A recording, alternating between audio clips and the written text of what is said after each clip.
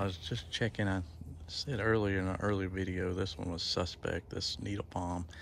And uh, pulled on one of the fronds here and had a spear pull, or at least on the frond pulled. Anytime you see these newer fronds that, that start taking damage like this, you can uh, almost bet that there's some sort of problem going on down in there that you need to watch on. So uh, we're gonna mix up some copper fungicide here and spray spray this again, spray some of our other palms. Um, you can see it's got a spear down in here that's still now okay, but uh, you know, these things, they uh, spear pull some, they usually come back, but you gotta be careful with these needle palms. So, so uh, uh, keep eye out and, uh, you know, spray that copper fungicide about once a month, especially when its temperatures around 60 or more. So what we're gonna do after mixing up our copper fungicide is we're gonna spray it with this uh, uh, sprayer here. This is a battery powered uh, two gallon sprayer, but you can use any type of sprayer you want.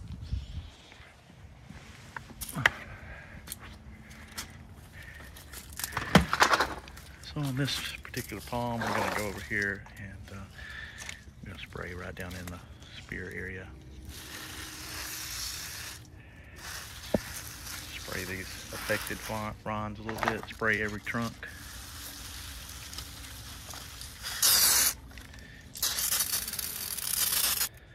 For any windmill palms that we want to spray, we're gonna spray down in here.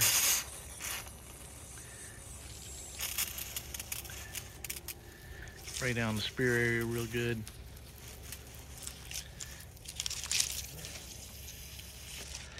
And that's the way we're gonna treat our palms. And we're gonna do that about at least once a month. Uh, we have one that's uh, spear pulled. You can do it every uh, week or two until uh, spring fully kicks into gear and, and you see the spear growing. So we'll see everybody later. All right, so we got the needle palm sprayed that had some uh, problems, had a spear pull there. So we sprayed it with copper fungicide. And I'm gonna repost uh, some of my content from uh, uh one of my last videos on uh, uh, when to use copper fungicide and when to use hydrogen peroxide.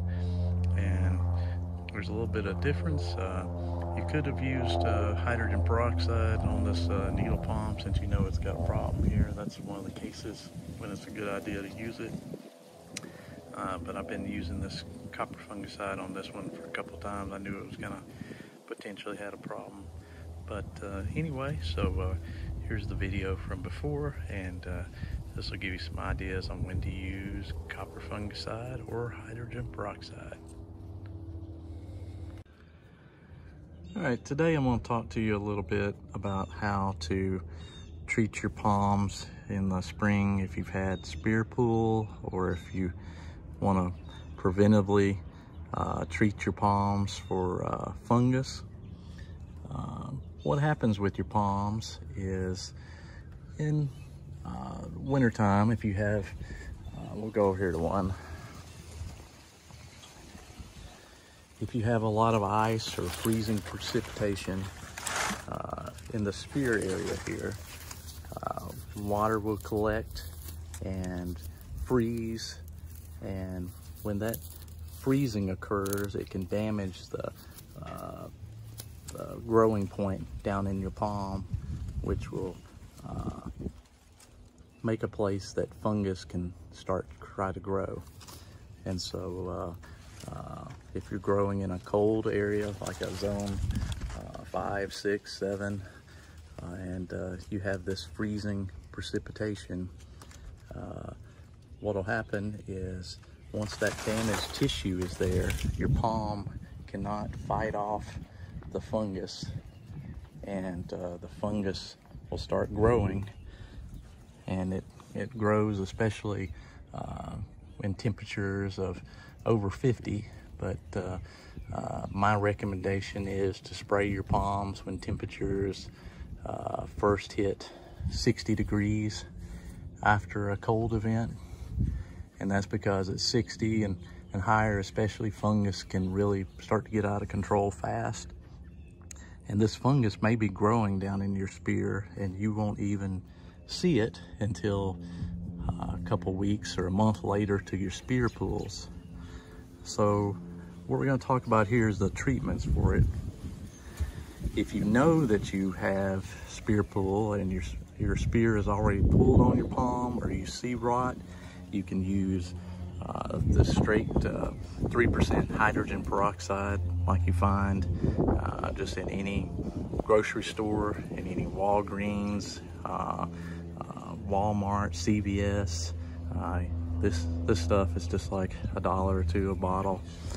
And all you're gonna do is take this and pour it undiluted right into that spear area that we just showed on the video and uh, uh, sometimes you'll hear it fizz a little bit and that means that it's it's uh, uh, making contact with some of that material that's that needs to be treated and um, this is kind of like a instant uh, kill to the fungus and that sort of thing and uh, you can use that every few days to every week on a, a rotted palm.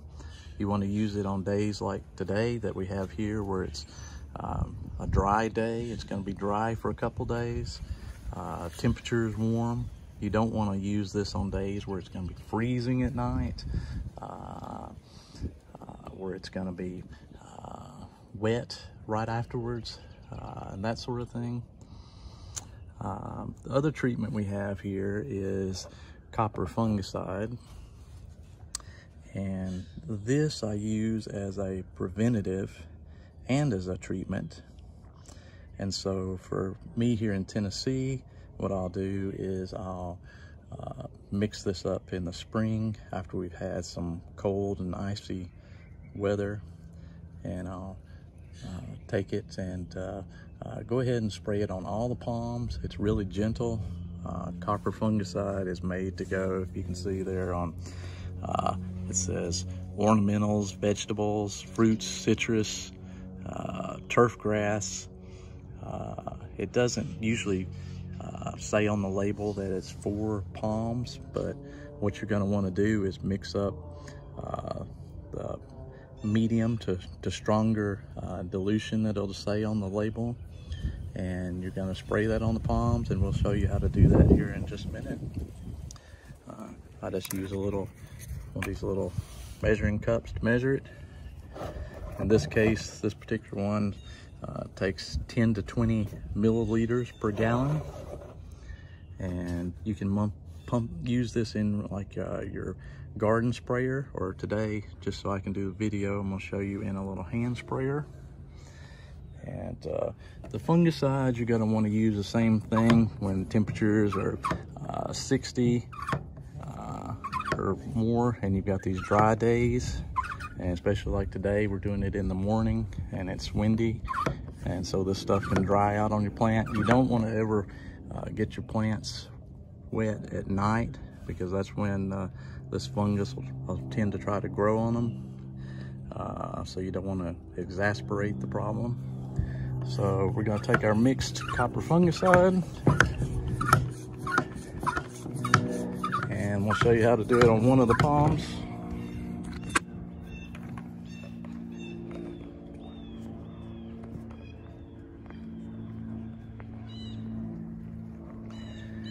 Just gonna wanna spray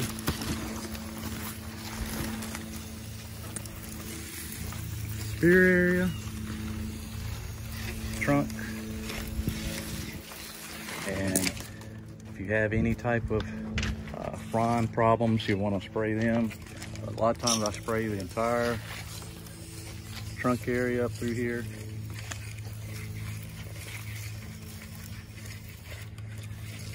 You have any exposed roots, if you think it's been cold and frozen around the roots, you can even spray around the root zone. And it's not gonna hurt to spray the entire trunk if it's a small one. If it's a larger uh, palm, I would just spray the top uh, couple feet of the trunk. You gotta spray this all around the trunk. And especially down in the spear area, like we talked about. And that's how you spray your copper fungicide on your farm.